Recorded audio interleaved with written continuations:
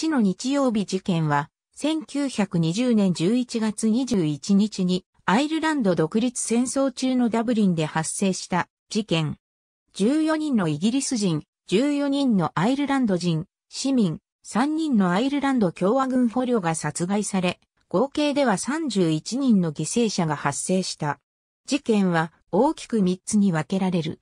発端となったのは IRA によるイギリス政府がダブリンで構築していたスパイ網、カイロギャングのメンバーの暗殺である。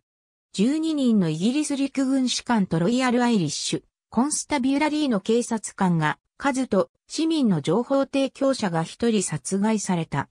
その後午後には、イギリス軍の部隊が、クロークパークで行われていたゲーリックフットボールを観戦中の民衆に発砲し、14人の市民が殺害された。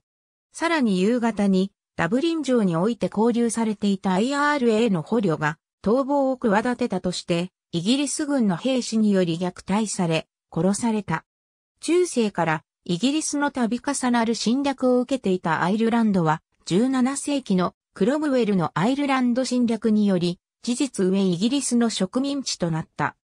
1800年にアイルランド王国はグレートブリテン王国と合同し、グレートブリテン及びアイルランド連合王国が成立した。19世紀末からアイルランド民族主義が高まり、アイルランド人は自治、または独立を要求するようになった。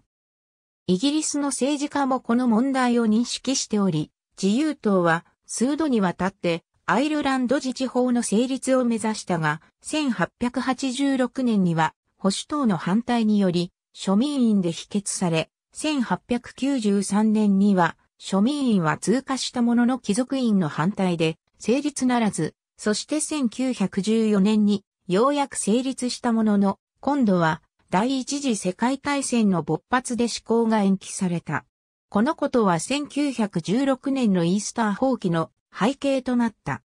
イースター放棄における民族主義者の反乱は民衆の支持を集めなかったが、事件後にイギリス政府が首謀者を軍法会議を経て、即決で処刑したため、イギリス政府への反感と反乱者への同情が集まった。1918年に初の総選挙が行われ、招集されたドイル・エアランではアイルランド民族主義政党であるシンフェインが過半数を占めた。議会はアイルランド義勇軍を改組してアイルランド共和軍を設立し、閣僚を選任した。1919年1月に IRA のメンバーがティッペラリー県において二人の警官を殺害したことでアイルランド独立戦争が開始された。イギリス政府はアイルランドの警察組織であるロイヤル・アイリッシュ・コンスタビュラリーやイギリス陸軍を用いて IRA の活動を抑え込もうとした。さらに第一次世界大戦の機関兵からなるブラックタンズやオーグジリアリーディビジョンと呼ばれる民兵組織を設立し、リックに組み込んだ。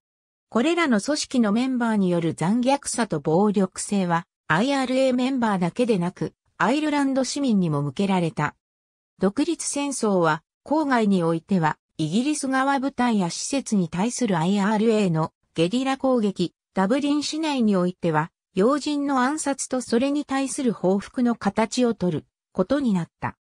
イギリス政府の諜報機関とイギリス軍情報部はダブリンにおいて1920年後半までにカイロギャングと呼ばれている組織を含め大規模な諜報網を構築していた。IRA の参謀長であるマルケイはこのスパイ網について極めて危険かつ巧妙に配置されたスパイ組織だと述べている。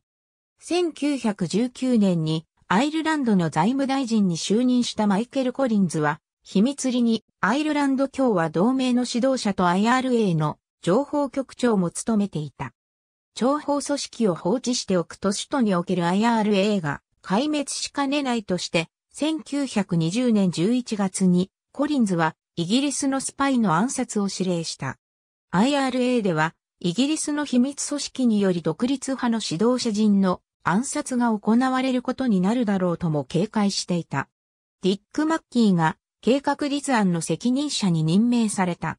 イギリスのスパイの住所は独立派に同情的な明道、イギリス軍将校たちの不注意な会話の立ち聞き、リック内部に存在した IRA の情報提供者などから入手された。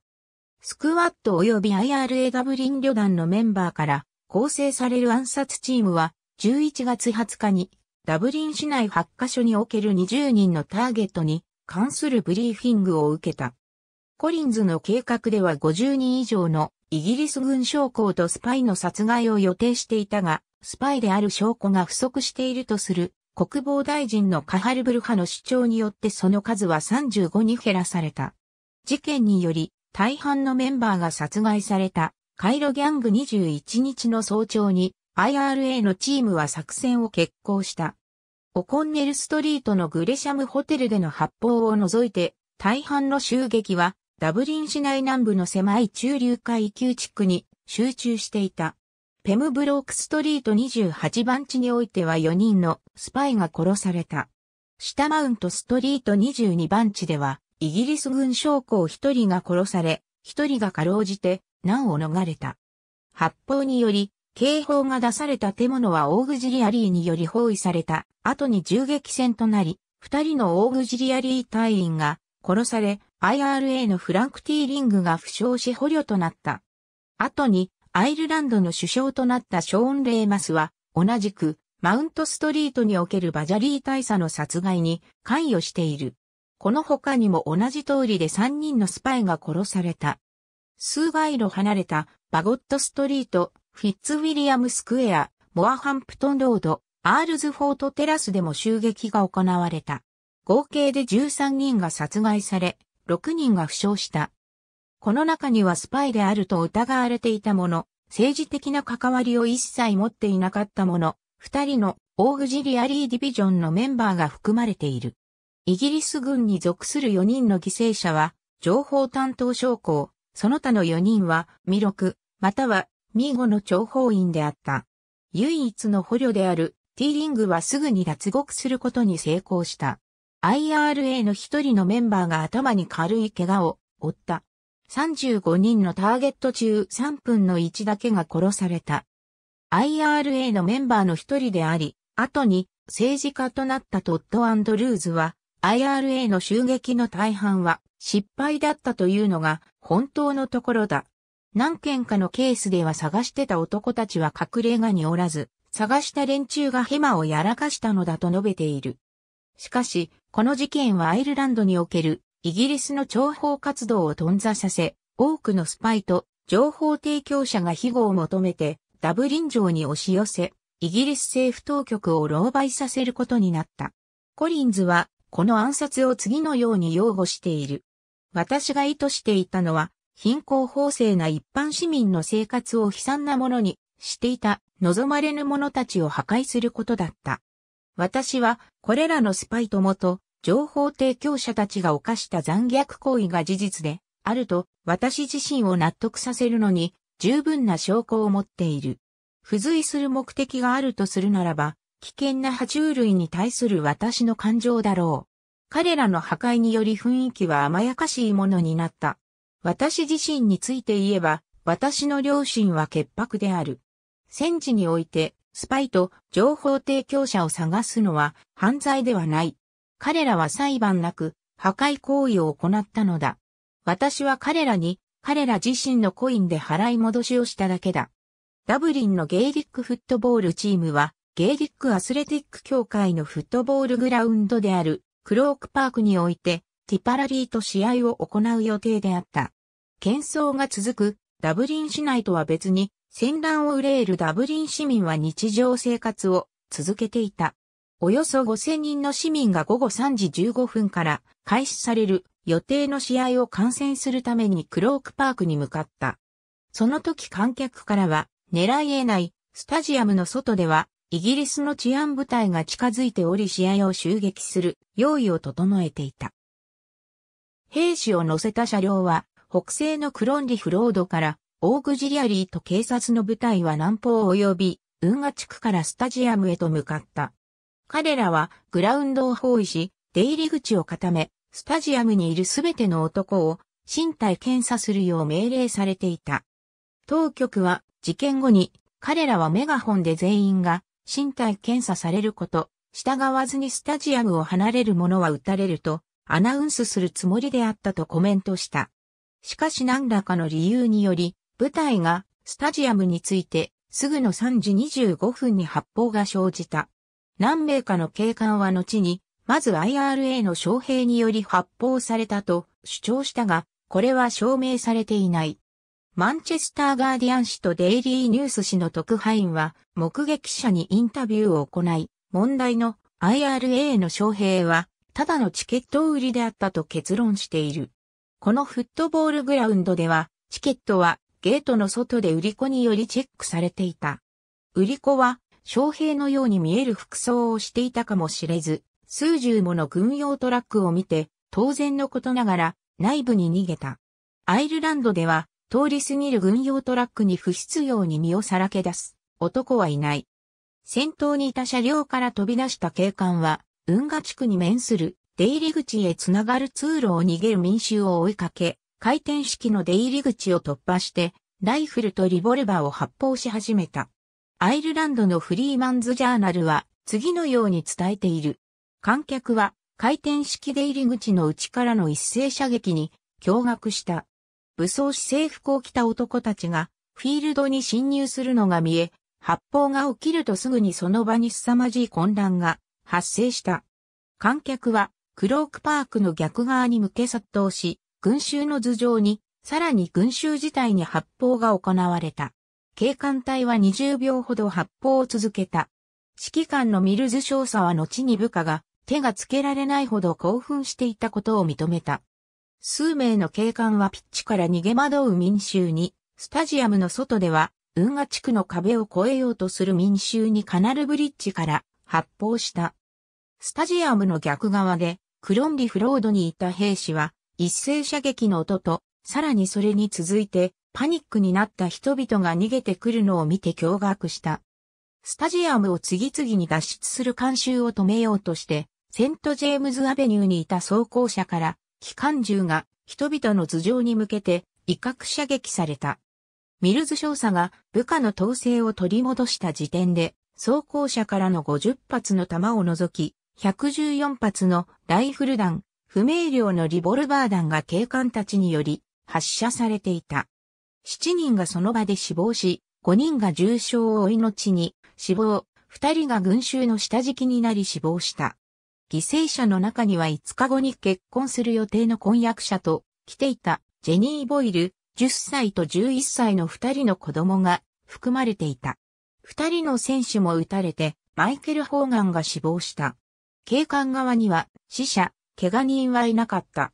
発砲が終わった後、警官隊は残った監修がスタジアムを離れる際に身体検査を行い、一丁のリボルバーが押収された。ある家屋の持ち主は、逃げる監修の一人が庭に放り投げていったと証言した。グラウンドが空になった後に、スタジアムで武器の捜索が行われたが、ミルズ少佐によると何も見つからなかった。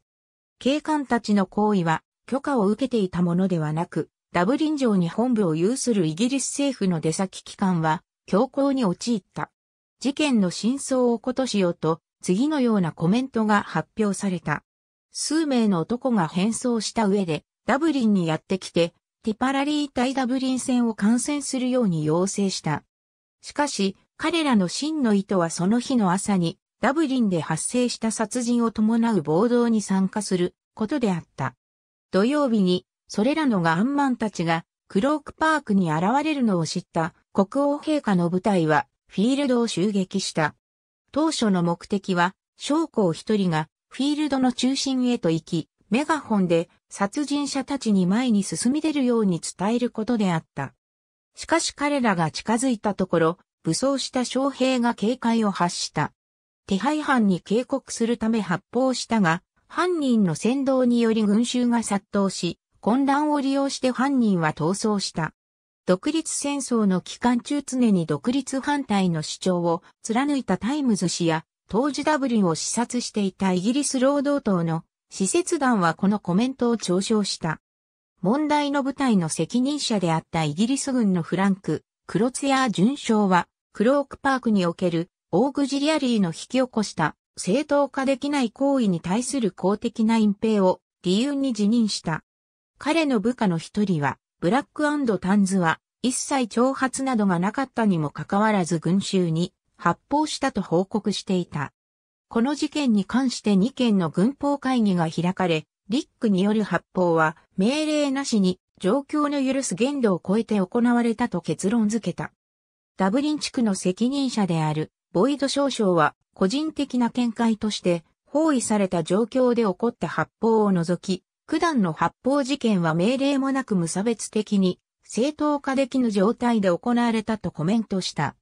法廷での表情はイギリス政府により伏せられ2000年になるまで公表されなかった。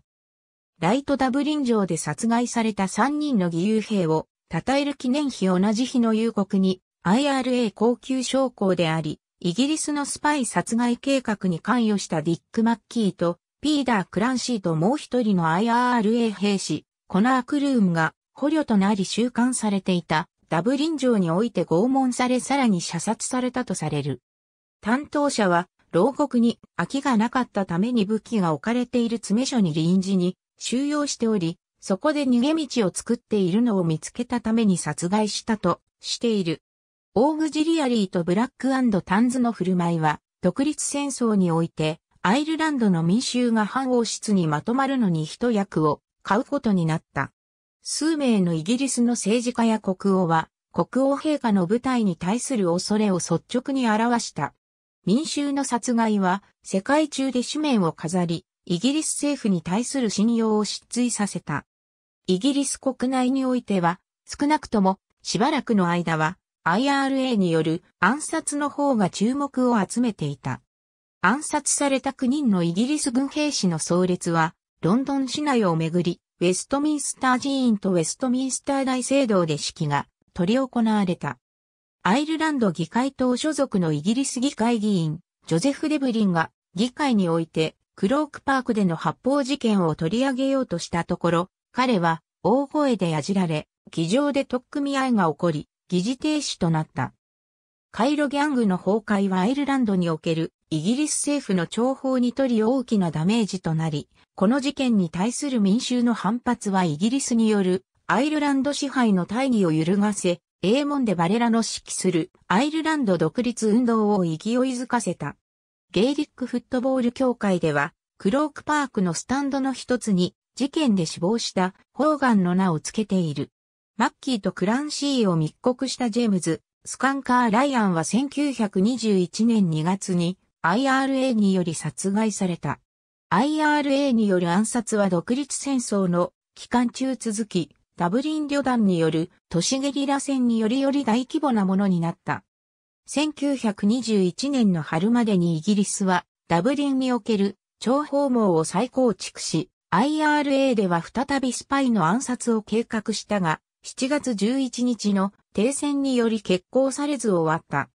2011年5月17日から20日にかけて、イギリスの君主としては100年ぶりにエリザベス女王がアイルランドを訪問した。国賓としての訪問だった。訪問初日に女王はアイルランド独立のために亡くなった人々を称えた追悼の庭にてアイルランド大統領と共に喧嘩した。訪問2日目の18日には第一次世界大戦中にイギリス兵として戦死したアイルランド人を追悼するアイルランド国立戦争記念庭園を訪問し、ここでも喧嘩した。同日には1920年の地の日曜日事件の舞台になったクロークパーク競技場を事件から90年と4ヶ月後に訪問した。A 女王は18日夜にダブリン城で開かれた公式晩餐会の席で AI 間の問題で命を落とした人々や負傷した人々や遺族に対し心からの思いと深い同情を表明した。ありがとうございます。